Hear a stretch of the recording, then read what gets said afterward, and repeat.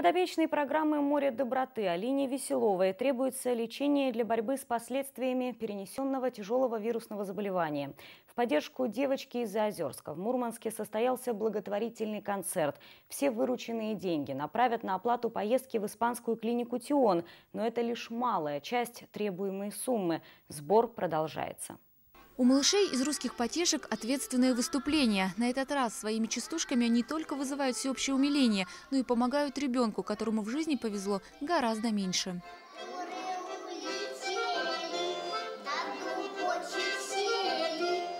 Алина Веселова ни петь, ни танцевать, к сожалению, не умеет. Они с мамой Натальей живут в Заозерске и из-за тяжелого состояния приехать на концерт не смогли. После перенесенного вирусного энцефалита Алина оказалась прикованной к постели. Постоянное осложнение, поражение нервной системы превратили жизнь малышки в кошмар. Девочка нуждается в реабилитации, но далеко не везде ее готовы принять. Согласилась испанская клиника «Тион». На эту поездку сейчас и объявлен сбор – 22 тысячи евро. В России, насколько я узнавала, такую диагностику нигде не проводят. Там полностью она сутками будет находиться под наблюдением, чтобы найти этот, как, э, лучший метод излечения ребенка. То есть это средства, которые сейчас собирают, это только первый этап э, по пути излечения Алины.